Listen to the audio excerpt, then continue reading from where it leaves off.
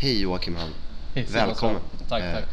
Jag pratade precis med eh, Thomas Edselius, AIK Fotbolls VD, och jag skulle hälsa Ja, till dig. vad trevligt. Vad tycker du om honom? Eh, fantastisk människa som Ja. jag känner honom. Eh, Som VD då? Soft människa, men som VD? Eh, jag vet för lite men han har ju lyckats bra. Verkar som. Alltså jag, jag, jag tar intryck, mycket intryck av andra och jag förstår att de som är mer insatta än vad jag är, är väldigt nöjda med honom. Så att, eh, han har nog gjort ett bra jobb. Det här med andra är intressant. Du är ju en av dem i AIK-sfären, kanske även i hela världen, som liksom har bäst koll på andra och känner väldigt många andra och sådär. Du är lite socialt promi- promiskuös nästan. Kan du ibland känna att du får någon slags social motsvarighet till liksom klamydia eller något av det här? Svara på frågan nu. Får jag inte passa? Nej. Ja, men, jag minns att du sa någon gång eh, att ja, jag har ju tjena med ganska många. Ja, och det ja. stämmer ju verkligen. Va, hur tänker du kring det här? Det här är ett program, ett Mm. journalistiskt program, så man kan inte bara ducka hur som Ja, helst. okej, eh, dels har jag gått på matchen i 22 år. Men jag är... Det är många som har gjort. Ja, eh, jag är... Jag skulle inte säga... Jag är ytlig. Alltså, det finns ett djup där också. Det är det vi vill Eh, få fram här ja. idag. jag kan vara väldigt allvarlig. Men jag gillar den här tjena hej liksom. Ja. Det var därför jag funkar väldigt bra när jag var på Konsum. Ja. För där säger man bara tjena hej, allt bra och du vet, och kunderna gillar mig jättemycket. Ja. Det var liksom min grej. Jag var den där, alla visste vem jag var för att, ja, men för att jag är trevlig. Det är väl lite, det är väl lite så här bekräftelsegrej kanske. Känner du aldrig, jag menar, dina inlägg är ju ibland lite tjena hej journalistik. Mm. Vill du aldrig göra Wallraff liksom? Vill, vill du inte hitta Watergate? Nu är det mer så du har väl åstadkommit några gates när du kanske har så här, trampat lite i klaveret och sådär Mm, genom åren. Men det, så, så blir det ju när man, Alltså grejen är den, jag har ju bloggat i fyra år. ja. Och innan har jag jobbat med som ja, sportjournalist på Sportal i sex år. Jag är så van att allt ska gå så fort, du vet. Det är snabba nyheter, det ska ut fort. Och det är samma med bloggen. Har det varit match eller träning, då vill man ut så fort som möjligt. Jag har aldrig den här ron. Jag skulle jättegärna sätta mig ner och skriva något jättelångt. Gör jag reportage, intervjua kanske fem personer till ett inlägg och sammanfläta. Jättekul, men jag har inte, känner inte att jag har tid till det. För att, du vet, då hinner någon annan före. Man ska vara liksom så snabb som möjligt. Du har den här nyhetsreporter-ådran liksom. Faktiskt.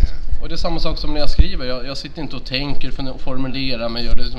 Jag skriver rakt upp och ner och sen ut med skiten. Exakt. Och det, Och det- det är lite så jag jobbar. Och det funkar väl hyfsat bra ändå. Ja, ja nej, men det är väl det så här, När det går fort så gör man ju... Ibland så hamnar man fel eller råkar säga för mycket och sen. Nu har väl du blivit, uppfattar jag i alla fall, bättre på det där att känna av också med åren. Mm. Att så, här, så att du inte gör någon, så att några surnar till och sådär. Jag försöker hålla en lite bättre balans, ja. Stämmer. Och det är ju en svår avvägning såklart, särskilt när det går fort. Men jag måste fråga dig, alltså när du pratar om att gå in på djupet och sådär. Ska du fråga mig? Ja, men jag, måste, jag, måste, jag kan inte släppa det riktigt. Ja. Eh, då måste jag bara säga att eh, folk har ett annat, när det gäller bloggar, folk har lite mer överseende.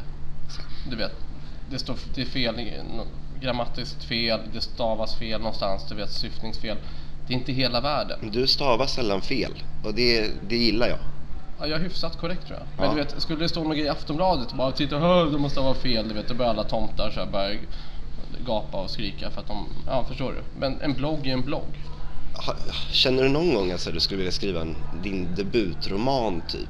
Att gå från så här eh, ganska rakt upp och ner nyhetsbloggande till att så här, skriva långa metaforer om skogen. Typ. Nej. Nej. Nu pratar vi inte mer om det. Nej.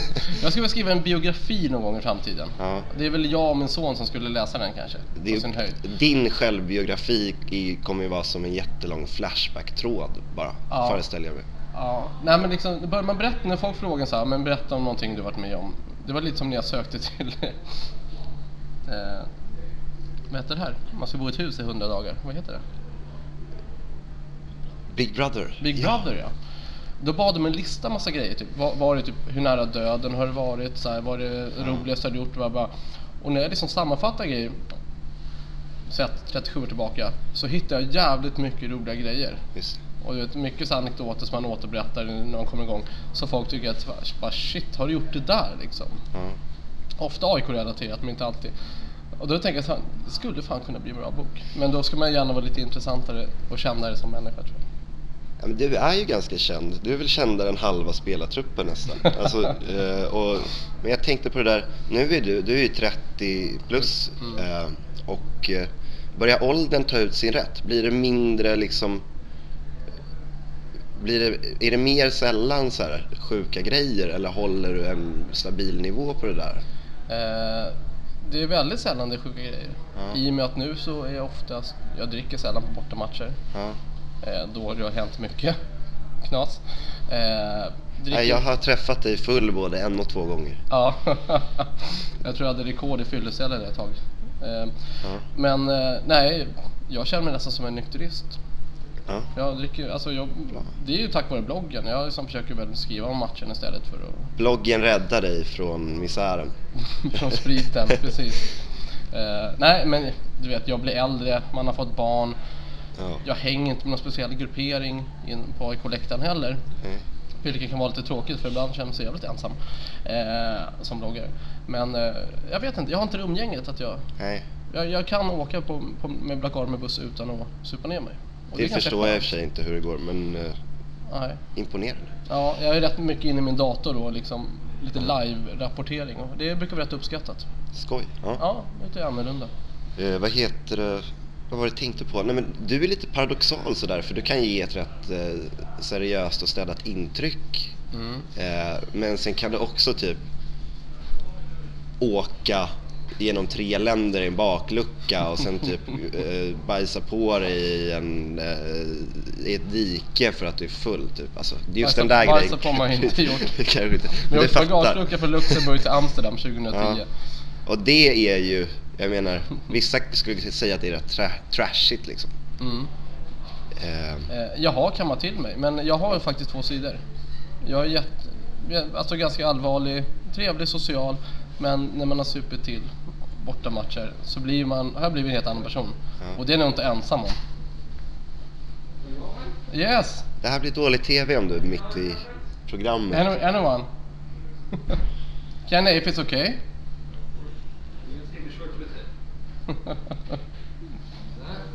Excuse me, we are doing a TV show here. Oh, you are? Yeah, yeah. Interview me. Part of the show. Can you're the best. Love you. Kenny Stamatopoulos kikade förbi här. ja, det är en trend. Tillfälligt avbrott i programmet. En Men UFO-tröja. Vad trevligt. det är nästan orange. Ja, fan vad glad jag blev. Ja, ja det var kul. Ja. Eh, Var det något mer? ja, ja, vi är inte klara. Inte på långa vägar. Eh, ja, men det här, dina dubbla... Ja, Sidor. Simon. Ja, Ja. vill du vara med? Vi har talkshow. ja, hoppa in. Vi kanske kör lite... Simons Du kanske inte vill synas med fel personer. Robert Oman Persson kommer in eh, och refuserar. helt, helt och hållet. Vi pratar om människan Jocke Hall här. Bra TV. Om man nu kan rubricera honom som människa. Är det så Skavlan light eller? Typ. Väldigt light. Han Betoning han på provar en ny light. karriär tror jag. Ja. Eh, ja. Måste vi snart runda av här så att eh, Ja. Samuel kan... Ja, men om vi håller oss till programmet så och inte pratar med massa människor i korridorerna så går det fortare. Ja. Ehm, ja, du har två sidor. ja. Det har vi gått igenom nu. Men eh, jag har suddat ut den andra sidan ganska Ja. bra. Så du är en, du känner dig hel nu. Eh, Du är en samlad person. Jag känner mig ensam, det gör jag. Men Ja. jag är sant, jag är en person. Du är all, aldrig ensam, alltid ensam. Är du lite så? Ja, det var ganska bra formulerat. Ja, det var Göran Persson sa det om statsministerposten. Ja, just det. Just det. Ja, Eh, det- det, det känns också så som du gillar att göra mycket. För ett annat Göran Persson citat är att så här, politik är som att cykla. Man måste liksom om man inte trampar på, då ramlar man. Att man måste upprätthålla en så här, en kritisk tempopunkt liksom. Annars så äh, äh, rämnar allt. Förstår du? Känner du så? Som Göran? Att jag håller igång väldigt mycket. Ja, att du måste göra det för att leva liksom. Alltså jag har, jag har ju tre jobb. Ja. och bloggen och det är AIK och jag har min son.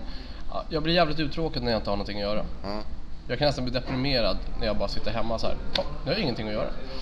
Om det var det du menade? Ja. ja så är mitt liv. Egentligen skulle jag skaffa ett eh, heltidsjobb ja, och koncentrera mig på det. Men jag gillar mycket att göra, lite att göra. Du vet, jobba sent, jobba tidigt. Det funkar bra. Och framförallt så passar det väldigt bra i och med att jag kan gå på träningar och sånt. Med att ha exakt. lite oregelbundna tider. Ja. Jag jobbar ju inte ens heltid. Men det, det funkar. Kul. Ja, nej, men det här kanske blir en återkommande grej, men vi kan ju runda av här. Ska vi gå på lunch förresten? Jag måste äta. Ja, men- Jag är bakfull för Ja. övrigt, märks säkert. Jag måste hem och jobba. Bloggen Ja, okej. kallar. Hej då, vi ses. Ja. Tusen tack för att du kunde komma. Ja men tack själv. Tack för att jag fick eh, vara med i ditt program. Tack Simon. Ha det gott.